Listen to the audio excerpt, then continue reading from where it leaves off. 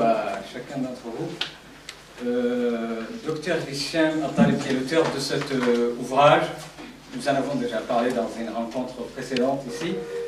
Euh, il devait me rejoindre il y a deux jours et puis finalement il a eu une maladie, espérons qu'elle n'est pas grave, aux Émirats Arabes Unis, un cours de route, il vient des États-Unis.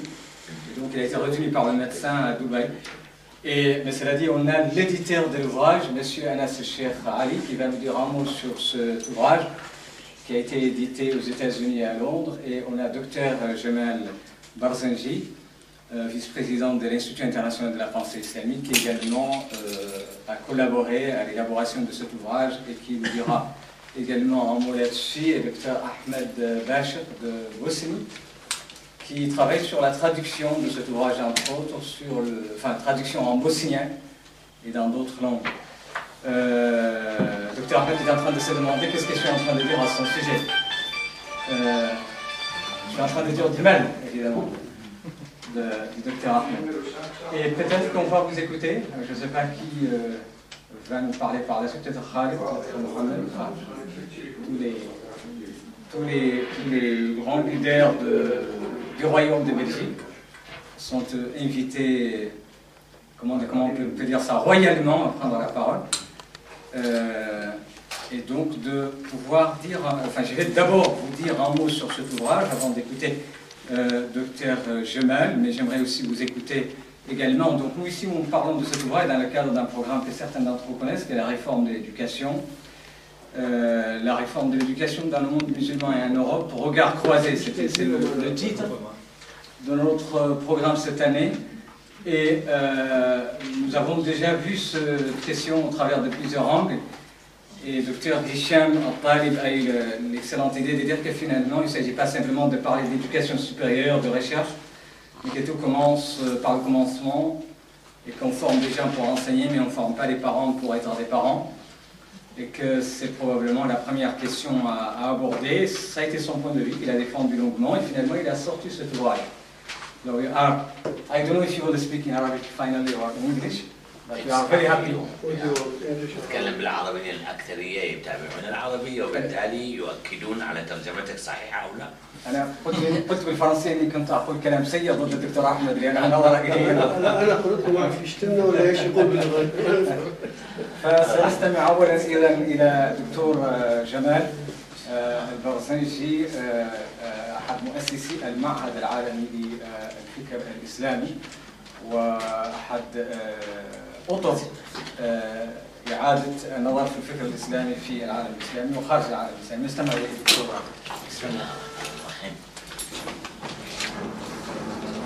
شكرا لأخي دكتور بدي وأنا سعيد أحمد الله تعالى أني تيسر لي أن أعود إلى هذه المدينة الجميلة مرة أخرى لألتقي بكم وألتقي بإخوتنا في هذا المركز المهم هنا Euh, je suis très heureux d'avoir l'opportunité de revenir. Je fais une parenthèse parce que le Dr Jamal était avec nous il y a trois ans. Il a rencontré quelques-uns d'entre vous. Il, a, il, a, il, avait fait une khutbah euh, assez commentée euh, dans la mosquée. Elle s'appelle comment la mosquée Anour. Anour. Voilà. Et donc il est très heureux d'être parmi nous aujourd'hui et d'avoir l'opportunité de vous retrouver dans ce grand centre. Ça, c'est très gentil de sa part. ولكن هذه لن تكون خطبة الجمعة هذا الحديث حول برنامج النشر في المعهد العالمي للفكر الإسلامي Mais là, ça ne va pas être donc un sermon de mosquée, mais ça va être euh, donc un propos sur euh, la politique pédagogique de l'Institut international de la pensée islamique.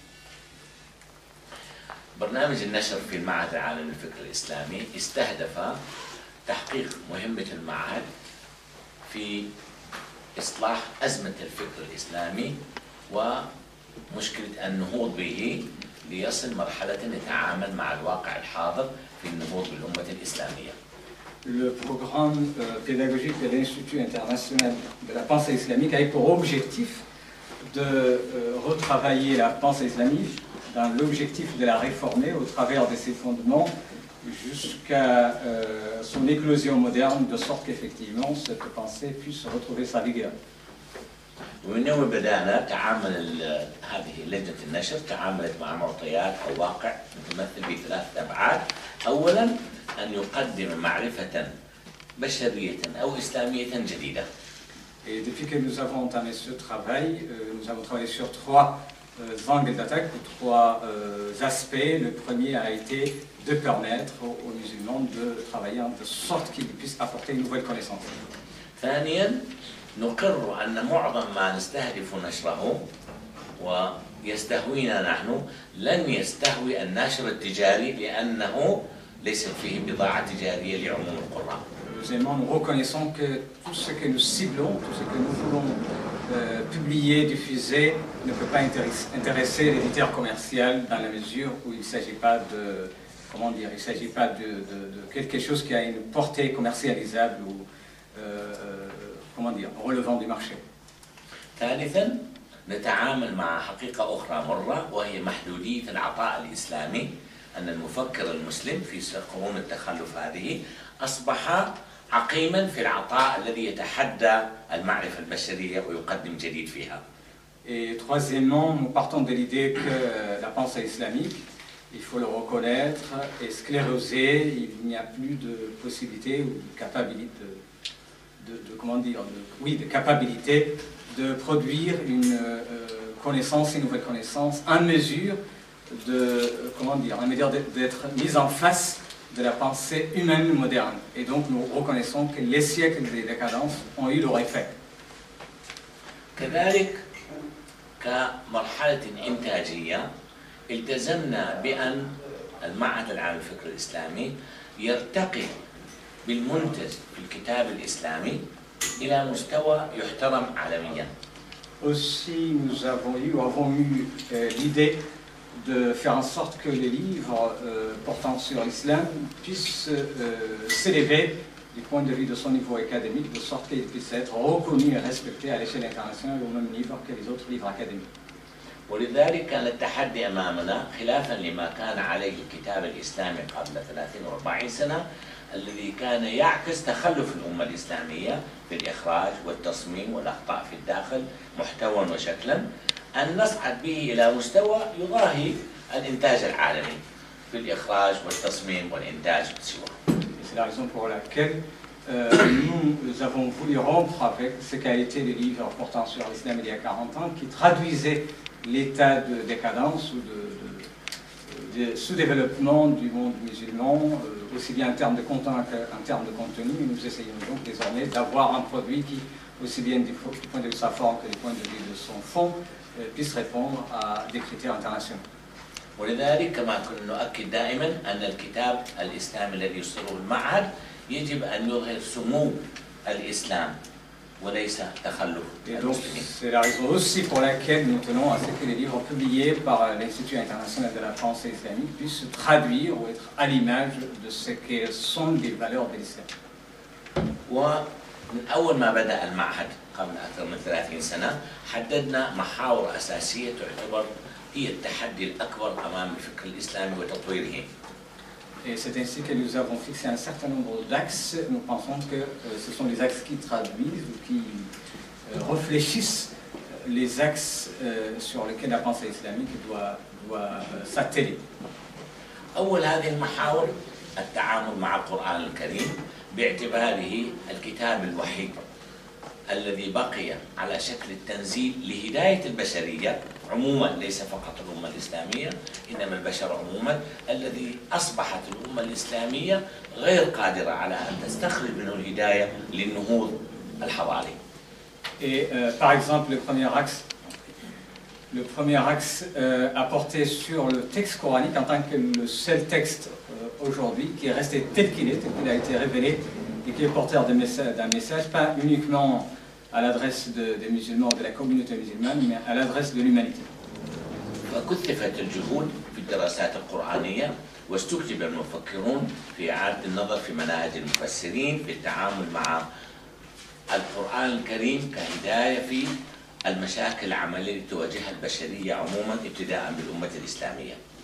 Et nous avons donc fait appel à, euh, à un certain nombre de chercheurs, puisque les méthodes classiques traditionnelles, archaïques, puissent être révisées remise en cause et donc que les méthodes, les outils et les instruments intellectuels puissent être retravaillés, repensés, de sorte que désormais donc le, le texte coranique réponde à euh, des exigences des, des guidances pour l'humanité d'aujourd'hui. المحور الثاني محور السنة النبوية السنة النبوية هي مصدر اعتزاز عظيم للأمة الإسلامية لأنه لم توثق أمة رسولها أو قائدها كما وثقت الأمة الإسلامية سيرة الرسول الأعظم صلى الله عليه وسلم Le second axe euh, est relatif à la pratique prophétique car euh, il n'y a pas eu de communauté qui a tenu à consigner par écrit euh, les différents éléments relatifs à la pratique de son prophète plus que la communauté musulmane. Donc la communauté peut être fière de la manière dont la pratique prophétique a été historiquement attestée et consignée. مع ذلك فإن السنة النبوية على مدى العصور كانت هي أكبر وسيلة بيد كل الفئات في الأمة الإسلامية أن تقاتل بعضها وتحارب بعضها وأن تستطعم الطريق السليم وكلهم يجد من السنة النبوية كما هي في تراثنا ما يدعم ويؤيد موقفه منها En dépit de cela, la pratique prophétique a été l'instrument de base que toutes les fractions, tous les schismes de la communauté musulmane euh, ont mobilisé pour attester de la validité de leur thèse face ou en conflit avec les autres. Et donc, ça a été le- le- l'élément le plus utilisé dans les conflits entre musulmans ou intermusulmans. وبالتالي وجه المعهد جهودا كبيرة في إعادة النظر في السنة النبوية من حيث وثوقنا بها بمعنى نقد المتون ونقد السند ومن حيث ما أدخل في القرن الأواخر القرن الماضي وأوائل هذا القرن من إدخال أبعاد الزمان والمكان في فهم السنة النبوية والتعامل معها Et c'est pour ça que notre institut a tenu à ce qu'il y ait un travail conséquent des critiques de- du corpus de la- relatif à la pratique du prophète ou relatif à la pratique du prophète, euh, aussi bien du point de vue de, de la critique du contenu, de la critique du texte, que de la critique de la transmission, du rapportement, mais également en mobilisant les méthodes modernes relatives au lieu et au temps, c'est-à-dire à l'ensemble des, des éléments que le- les sciences modernes, les sciences humaines modernes convoquent.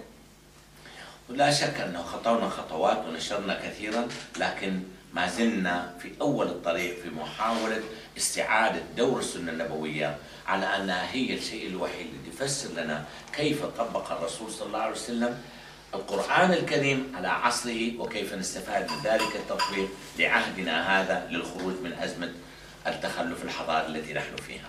Sans doute euh, avons-nous euh, accompli un certain nombre de pas, car le- la pratique du prophète est l'attestation historique de la manière dont le prophète a projeté les principes du Coran dans la vie concrète, la vie historique, la vie sociale. Mais nous reconnaissons également qu'il reste beaucoup de pas à accomplir dans ce sens. المحور الثالث هو محور التراث الإسلامي التراث الإسلامي وقفت الأمة الإسلامية منه موقفا مفهوما ومقدرا في سنوات الاستعمار في العالم الإسلامي بأن أخذت موقف المحافظة والتمسك به تمسكا أعمى لإبقائه سليما من تدخل سواء ال- الهجمات الخارجية على الأمة الإسلامية Le troisième axe a été le, patrimoine historique musulman, l'ensemble du corpus musulman. Les musulmans ont une attitude louable à l'époque coloniale, c'était l'attitude simplement de vouloir protéger, et ainsi donc leur attitude a été l'attitude conservatrice euh, traditionnaliste, conserver le patrimoine tel qu'il est, car donc il y avait un sentiment de danger. Mais il n'y avait pas eu un travail de réforme, de critique, de remise en cause et de retravail. Et donc c'est pour ça que donc, ça a été un axe de retravailler ce patrimoine à partir de- d'outils cognitifs nouveaux. وصلت الأمة مرحلة التقديس لتراثها في مرحلة مرحلة الاستعمار والضعف، لكن لا مبرر لنا اليوم أن لا نرجع إلى هذا التراث وننقده نقدا بناء عمليا بأيدي مفكرين وعقول مسلمين مفكرين حتى نخرج من هذه القدسية إلى الاستفادة العملية في البناء الحضاري المنشود اليوم. Et euh, l'attitude qui a consisté à sacraliser le patrimoine historique, quoique compréhensible, euh, n'est plus justifiée aujourd'hui. Il est euh, urgent de soumettre ce patrimoine euh, à, à l'œil critique des intellects musulmans, de- de- de- de- d'outils cognitifs musulmans, de sorte qu'il y ait un travail critique euh, conséquent. وبدأنا بموضوع تراث الفقه الإسلامي وخرجنا من أزمة الفقه الإسلامي إلى قضية مقاصد الفقه مقاصد الشريعة من الفقه وبالتالي يمكن أن ننزل هذه المقاصد على عصرنا هذا لنستنير بخبرة آبائنا وأجدادنا من كبار العلماء والمفكرين والفقهاء والمدارس الفقهية الكبرى إلى أن نرى كيف يمكن أن تعين الشريعة في البناء الحضاري الذي ننشده اليوم Ainsi, par exemple, nous avons abordé la question ou la crise de- du fiqh et nous en sommes sortis avec le- l'abandon du fiqh au sens traditionnel du mot et la focalisation sur les maqasid, sur le- les finalités euh, de- de- du fiqh en tant qu'outils qui peuvent nous permettre de, euh, comment dire, de nous ressourcer dans le- l'héritage et dans le travail historique de nos ancêtres, mais de le dépasser de sorte de- que nous puissions répondre aux exigences de notre vie à nous. محور آخر اهتم به المعهد بسبب وجودنا أن المقر الرئيسي هو في الولايات المتحدة الأمريكية والتعرض والتعرض لانتقادات أو الهجمات أو التحديات التي في الغرب للجالية المسلمة وللفكر الإسلامي فطورنا ما نسميه فقه الأقليات Euh, un axe supplémentaire a été également pris en compte dans la mesure où nous étions aux États-Unis, nous avons euh, notre siège aux États-Unis et donc nous avons été confrontés aux questions relatives à la présence de la communauté musulmane dans un environnement majoritairement musulman et donc il a fallu que nous nous intéressions au fiqh des minorités. وهذا ينطلق من أن تراث الأمة الإسلامية في الفقه كله تقريبا طور في عهد كانت الأمة الإسلامية هي اللي تحكم الأرض كانت هي الدولة العظمى. وبالتالي حتى لو وجد خمسة مسلمين وذهبوا إلى أرض غير مسلمة فإنهم يعيشون بالقيم الإسلامية ذاتها كأنهم في بلد الأغلبية. أما اليوم فالأقليات المسلمة هي مضطهدة هي ضعيفة هي تحاول أن تكون نفسها. فلا بد أن نبحث في منطلق جديد يعين هذه الأقليات على بناء نفسها وأن تعيش قيمها الإسلامية في أرض الغربة وأرض المهجر Et c'est- euh, nous partions du constat que le fiqh a été, euh, donc la normativité musulmane a été historiquement développée à une époque où les musulmans déterminaient les valeurs ou élaboraient les valeurs euh, déterminantes pour l'humanité tout entière. Et donc le fiqh à cette époque-là était le fiqh d'une communauté dominante, même s'il y avait trois musulmans qui vivaient dans un environnement majoritairement non musulman, le fait que la communauté musulmane est dominante à l'échelle planétaire faisait que ces musulmans pouvaient vivre n'importe où dans des sociétés non musulmanes tout en conservant la même attitude, les mêmes valeurs, les mêmes outils que ceux qu'ils ont euh, dans la communauté musulmane. Mais à l'époque où nous sommes aujourd'hui, les questions sont tout à fait inversées. Les communautés musulmanes sont fragiles, faibles, euh, parfois opprimées, et donc euh, la question se pose autrement. فهذا فقه الأقليات الهدف منه أن يفك القيود التي على الجالية المسلمة في بلاد الأقليات منطلقة من القرآن الكريم وتوجيهات السنة النبوية والحكمة الكبيرة جدا تراكمت عبر الدهور في المدارس الفقهية المختلفة لننطلق في أسلوب جديد تتعايش هذه الأقليات مع واقعها الجديد وتساهم في بناء المجتمعات التي وجدت نفسها فيها. Ainsi donc, il s'agissait de partir aussi bien du courant et du corpus prophétique que de euh, toute l'histoire musulmane, de toute cette accumulation de, de corpus, donc de sagesse dont il faut se saisir, euh, mais surtout pour répondre à des exigences modernes, de sorte que les musulmans puissent être un- au diapason du développement des sociétés dans lesquelles ils vivent et peuvent y participer activement. المحور الرابع والأخير هو محور التراث الإنساني بزعامة الحضارة الغربية القائمة اليوم. Euh, le, le- le dernier, enfin, le, le dernier, vous avez dit, le محور الأخير المحور الرابع الأخير نعم. Le, le quatrième et le dernier axe euh, portait sur, vous avez dit euh, نعم قلت المحور الرابع يتعلق به ال- ال- ال- الحضارة الإنسانية وهيمنة الفكر الغربي الثقافة الغربية. porte sur euh, la civilisation humaine et la domination, ou, ou le- l'état dominant de la pensée occidentale.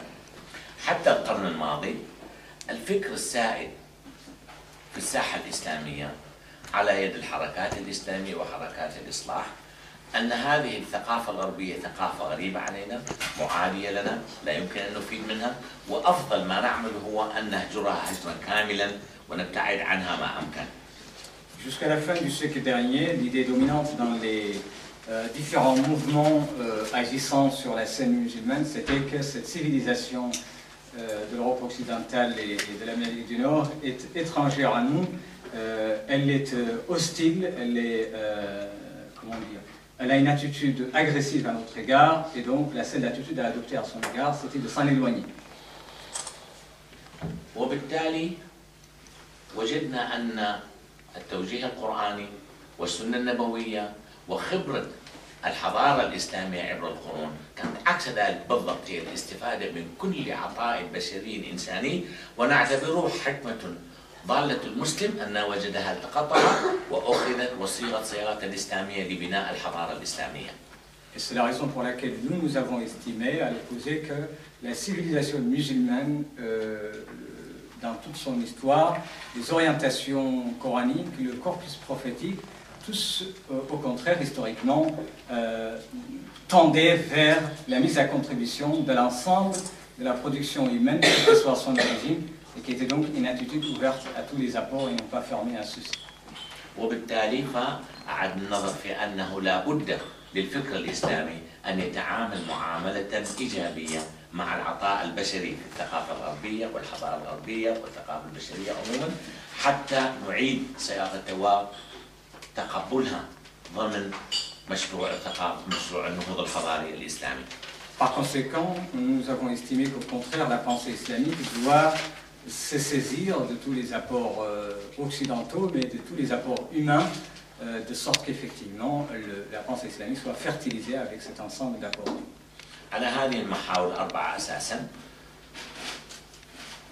مشهد معهد عبر 30 سنة الماضية في نشر أكثر من 600 مؤلف معظمها تتناول قضايا محورية وأزمات في الفكر الإسلامي وما نسمي عقبات في طريق تطوره حتى نصل إلى ما نحن فيه في مسيرة مستمرة إن شاء الله. نسأل الله تعالى أن يطرح البركة فيها ونراكم دائما على عناوين جديدة ومنتج جديد حضاري إسلامي بإذن الله. C'est sur ces euh, quatre euh, axes que l'Institut international de la pensée islamique a euh, travaillé ces trois dernières décennies, de sorte que euh, nous puissions, euh, euh, de sorte que nous avons pu produire environ 600 ouvrages portant essentiellement sur, thématiques, ces thématiques de renouveau de la pensée, de, comment dire, de réactivation de l'esprit novateur de la pensée islamique et de la création islamique. Ainsi donc, j'espère bien que j'aurai l'opportunité et l'occasion de vous revoir à nouveau toujours dans, des conditions, dans les meilleures des conditions. والسلام عليكم ورحمة الله. Assalamu alaikum. شكرا شكرا لأخي الكريم على هذه الأسئلة التي فيها التحدي وفيها وصف لما نواجهه كل يوم في أمريكا. فأبدأ بها واحدا واحدا إن شاء الله. أولا وصول الكتاب إلى جهات أكاديمية أو مجتمعات ثقافية غير مسلمة. ما زال الكتاب الإسلامي يعتبر محاصرا آه، في الغرب عموما وفي أمريكا بصورة خاصة. لكن هناك وسائل كثيرة للوصول إلى الأكاديميين الذين يهمهم أن يروا كيف يفكر المسلمون في قضاياهم وفي محاولات النهوض بالفكر الإسلامي وتخطي العقبات التي تواجههم. وبالتالي كتبنا متوفرة بالإضافة إلى الاتصال بكل المكتبات الرئيسية التي تدرس الدراسات الإسلامية وعددها حوالي 370 جامعة في أمريكا فيها أقسام دراسات إسلامية. بالإضافة إلى ذلك موجودة على امازون وجوجل سيرش وإلى آخره كل هذه موجودة. وبالتالي في متناول الباحثين والمجاهدين في هذا. لكن ما زال الكتاب الإسلامي محاصر إلى حد كبير. لا يس لا لا نجد موزع رئيسي في أمريكا يحمل الكتب الإسلامية. Comme vous le savez, le livre musulman le livre portant sur l'islam souffre encore de beaucoup de difficultés euh, en Occident, aux États-Unis, mais aussi euh, ailleurs, et euh, ailleurs en Occident. Mais cela dit, il y a des moyens effectivement pour que nos ouvrages soient accessibles à ceux qui s'intéressent, notamment les chercheurs, par exemple aux États-Unis, qui s'intéressent et qui veulent savoir comment les musulmans réfléchissent sur ces questions à partir de leurs propres outils. Euh, par exemple, aux États-Unis, il y a des départements d'études islamiques dans environ 370 universités. Et donc ces différents départements ont accès et puis il y a désormais les différents outils technologiques. Il est difficile d'avoir un éditeur important qui accepte de prendre en charge ces ouvrages, mais il y a des moyens parallèles, des moyens alternatifs. النقطة الثانية قضية الأقليات والتضييق عليهم في القضية الأخلاقية إلى آخره أرجو أن لا يساء فهم ما قلته. نحن ما نحاول أن نعمله في فقه الأقليات هو أن نفك الخناق الذي تراكم عبر القرون في الفقه الإسلامي بالذات إلى ما يسمح به الإسلام في القرآن الكريم والسنة النبوية ليعطي الفرصة لهذه الأقليات أن تتعامل مع مجتمعاتها الجديدة وتنشأ وتكون أنفسها وتكون محترمة ومكرمة وقادرة على المساهمة في البناء الحضاري والاجتماعي في مواقعها الجديدة. Euh, J'aimerais bien être clair sur le rapport avec le fiqh. C'est que nous, nous, avons voulu, c'est desserrer l'étau que euh, le fiqh historique a imposé aux musulmans et donc de leur permettre de sortir de cet étau de, dans la mesure, donc, enfin dans, oui, dans la mesure d'être conforme aux principes musulmans, mais sans être prisonnier de cet étau historique du fiqh et donc de pouvoir euh, mobiliser les principes euh, de l'islam en tant que tel et à partir de quelles répondre euh, de façon active aux, difficultés ou aux questions de leur société et permettre à ces communautés d'être actifs et d'être productives dans leurs sociétés respectives ou dans lesquelles elles sont minoritaires sans rester donc enfermées dans cette vision que le fiqh historique a imposée. يعني لو أخذنا التوجيه القرآني أن هذا الدين يسر ما جعل عليكم في الدين من حرج. والتوجيه النبوي صلى الله عليه وسلم يسروا ولا تعسروا بشروا ولا تنفروا. نجد أن فهمنا للفقه الذي توارثناه هو عكس هذا بالضبط أن الفضل والأجر الأكبر هو في الشدة الأجر على قدر المشقة وأنه كل ما شددت فأنت التزمت أكثر. فهذا مخالف تماما لروح ما ينبغي للأقليات أن تنطلق فيه وتكون نفسها في البيئة الجديدة. Prenons l'exemple, par exemple, de certains principes coraniques tels que, ou euh, qui relèvent de la pratique du prophète, tels que euh, choisissez, le verset coranique, Dieu ne vous a rien imposé en termes de contraintes, ou encore les hadiths qui parlent du fait que donc choisissez toujours la plus aisée des, voies, euh, alors que ce n'est pas du tout euh, la vision que nous avons héritée. C'est tout à fait une vision opposée à cela. Nous voyons bien que dans notre héritage, euh, les gens pensent que plus on est ferme, plus on est extrême dans son interprétation, plus on est récompensé. On dit souvent que la récompense est à la hauteur de la difficulté. Et donc on pense que donc, plus la difficulté est élevée, plus le, la vertu de l'accomplir est élevée. Or, c'est tout à fait à l'opposé de l'enseignement coranique. كذلك النقطة مهمة جدا بالنسبة لي ما طورنا من فوق الأقليات ونحن نتحدث باستمرار على جانبي الأطلسي بالذات في الجاليات المسلمة في أمريكا وأوروبا تقريبا معظم القضايا التي نواجهها في مجتمعاتنا مجتمعات الأقليات المسلمة إما أنها حاليا في نفس الوقت هي أيضا أزمة في الأمة الإسلامية في بلاد الأغلبية أو ستكون قريبا هكذا. ابتداء من موضوع الردة إلى موضوع المثلية واللواط إلى موضوع انهيار الأسرة إلى موضوع حقوق المرأة إلى موضوع العدالة الاجتماعية وحسن التوزيع إلى موضوع الفساد. كل هذه القضايا نحن في خط النار نحن أولى بنا أن نواجه هذه القضايا في مجتمعاتنا الأقليات هذه. حتى إذا وصلت إلى العالم الإسلامي تكون قد أنضجت هذه من منظور إسلامي منطلق إسلامي والأمة الإسلامية قادرة على أن تتعامل معها أفضل من أن تأتيها هجمة تخرجها عن توازنها. ونجد بعض الآراء المشتطة يمينا وشمالا ما أنزل الله بها من سلطان. Et euh, ajouter à cela que la plupart des questions euh, euh, auxquelles euh, les minorités musulmanes Euh, en Europe ou en Amérique du Nord sont confrontés sont des questions qui se posent également pour les pays à majorité musulmane ou qui vont se poser. Par exemple, des questions d'apostasie, de, d'homosexualité, de, des liens familiaux, des euh, droits de la femme, de la corruption, etc. Ce sont des euh, questions qui se posent déjà qui vont se poser et les minorités musulmanes euh, en Europe sont plus en mesure de répondre à ces questions et d'offrir aux musulmans de- des pays à majorité musulmane des réponses qui leur permettent, à l'avenir, qui leur permettraient d'éviter d'être confrontés subitement ou de façon euh, agressive à ces questions et de leur faire perdre le contrôle de l'équilibre. موضوع هذا الكتاب نال اهتمام كبيرا جدا من الجهات النصرانية المتمسكة بنصرانيتها. اعتبروا أن جهود المسلمين نتكلم عن الواقع الأمريكي هي التي تعطي الأمل للنصارى أن يستعيدوا موقعهم الأخلاقي من تعريف العائلة. ما هي العائلة؟ تعريف العلاقة الزوجية تعريف الموقف من اللواط والمثليين وكل القضايا المترتبة على هذه باعتبار أن الكنيسة أولا هزمت حتى في قيامها أمام الهجمة العلمانية والإلحادية. فالآن يجدون أن المسلمين هم الذين ممكن أن يخلصوهم من هذه الأزمة بتمسك المسلمين بقيمهم وعدم تزعزعهم أو اهتزازهم أمام هذه أمام الهجمة العلمانية والملحدة.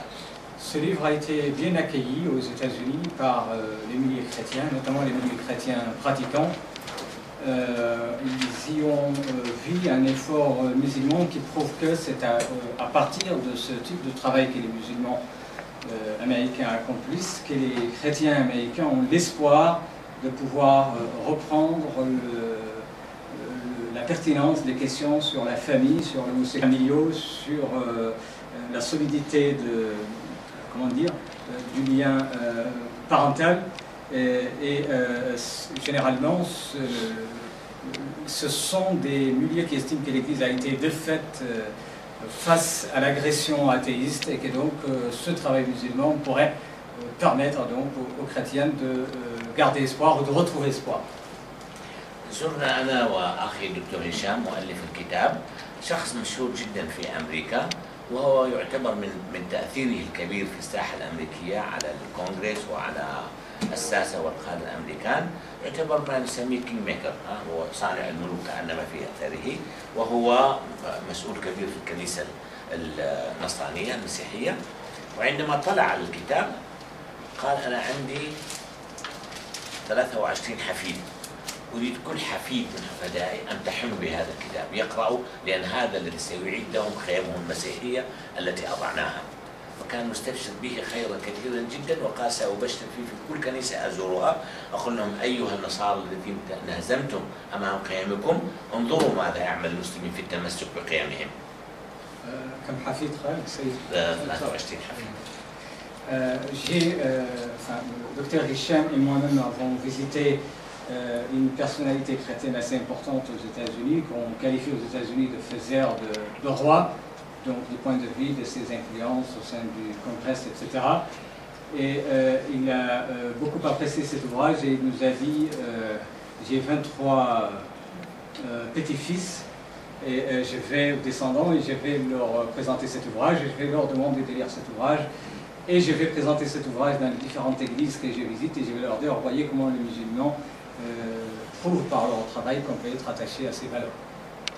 هناك مؤسسة مشهورة في أمريكا اسمها ويذرسبون انستيتيوت هذه مؤسسة تعتبر يمينية مسيحية متطرفة وقد ولها جولات كثيرة في مسائل الإسلاموفوبيا والأعداء الإسلام عندما وجدوا أنفسهم أمام الهجمة الأخيرة في قضية الهوموسيكشوالز بحيث الآن في أمريكا لا يكفي أنك تسكت يجب أن تمجد الهوموسيكشواليتي وإذا لا تمجده فأنت قد قصرت وأنت متخلف وستعاقب. أمام هذه الهجمة والهزيمة التي وجهوا فيها طلبوا أن يأخذوا مؤتمر معنا والمصالحة مع المسلمين ليطول وقتهم في عداء وحرب مع المسلمين.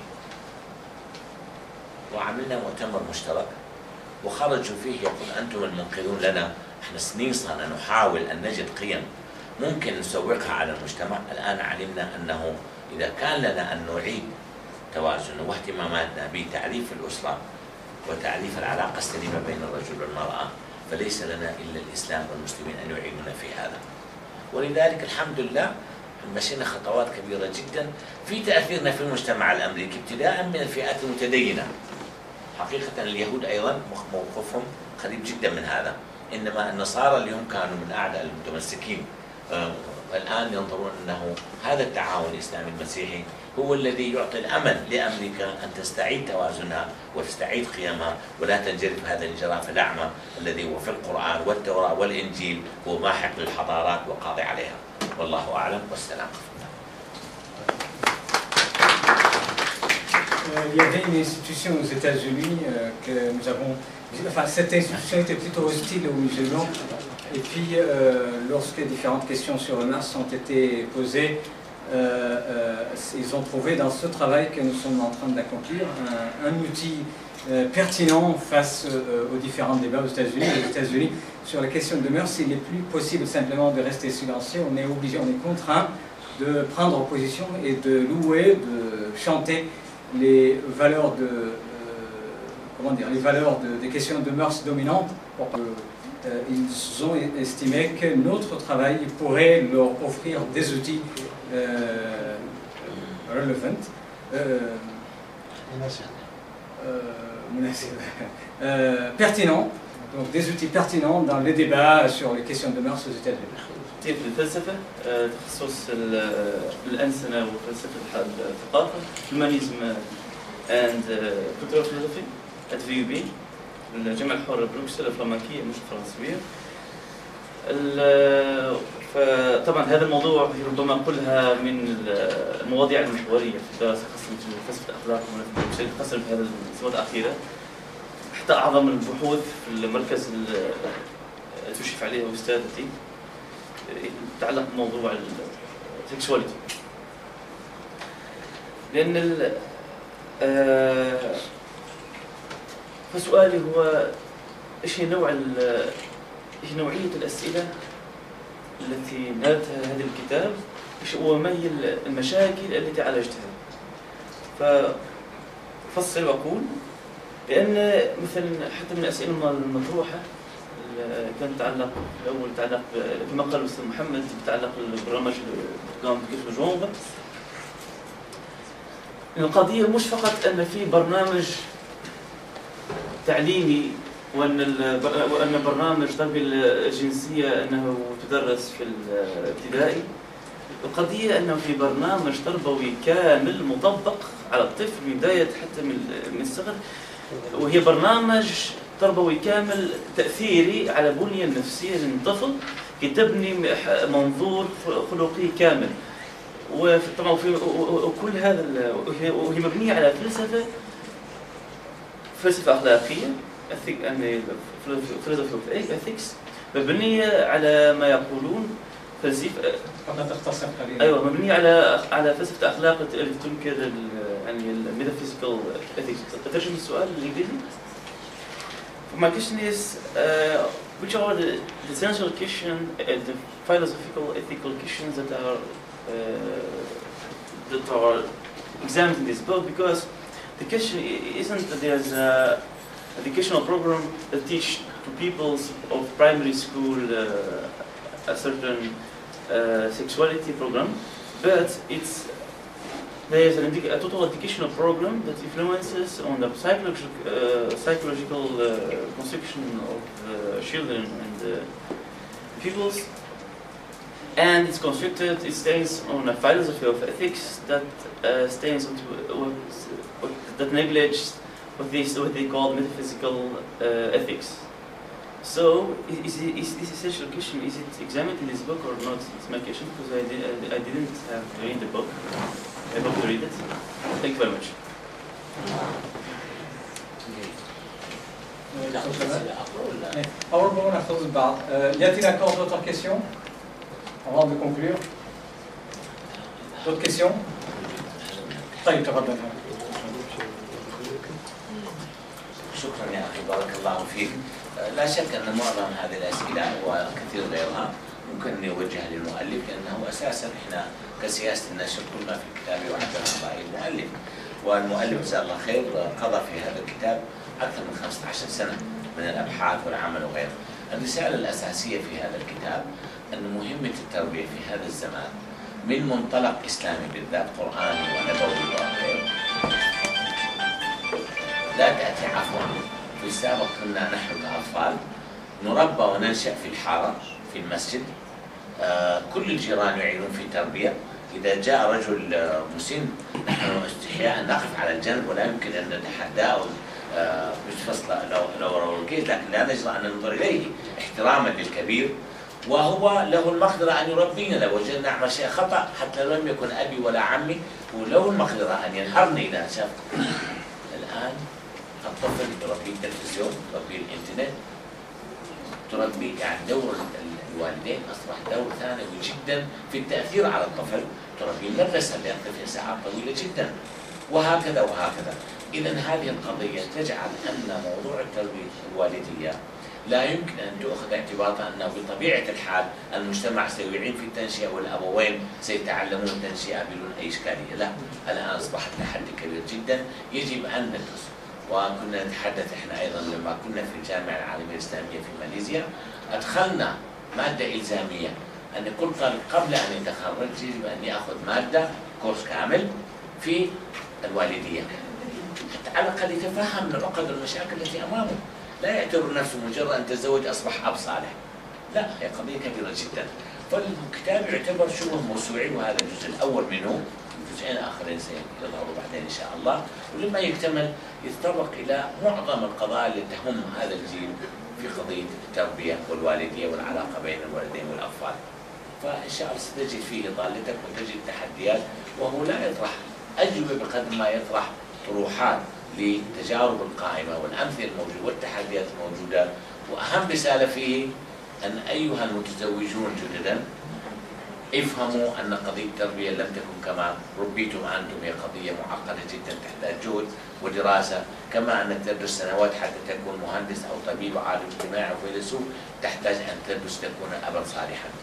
دكتور سنطلب منك تلخيص ما تفضلت به قبل والآن بالانجليزيه في ثلاث دقائق. هل هذا يمكن؟ هذا الأخير يعني؟ مثلا ولو فكرتين أساسيتين.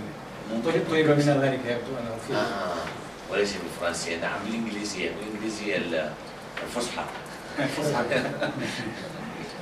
ال- the main issue in this book, the main message in this book, is to tell people that while raising children in the past, throughout history in fact, was basically conducted partially by the family, but more so by the neighborhood, by the neighbors, by the traditional schooling, okay?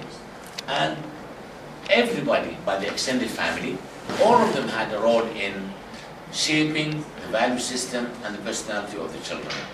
Nowadays, children are no longer raised by the parents, primarily. In fact, the parents, especially if you have two working parents, parents have no time to pay attention to raising their children.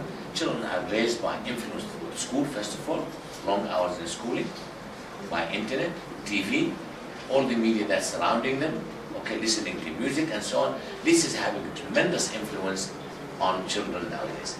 So the message here is do not take it for granted that once you get married, you know how to raise children. You need to actually put a deliberate effort to study the importance of father and mother, both parents to raising children today. We need to learn and study. Just like we need to study to become professional, whether it's social scientist or engineer or medical doctor and so on, you need to study to become an aware parent capable of impacting or im- uh, raising children in a way that they will be, as Quran says, قرة عين, to make the pleasure of your eyes. You need that. You don't take it for granted. I say this is volume one of three volumes.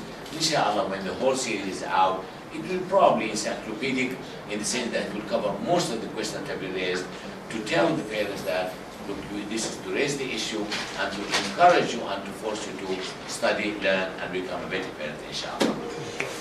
Ultimately, it is Allah Ta'ala who raises good children and blesses us with good children. Wassalam.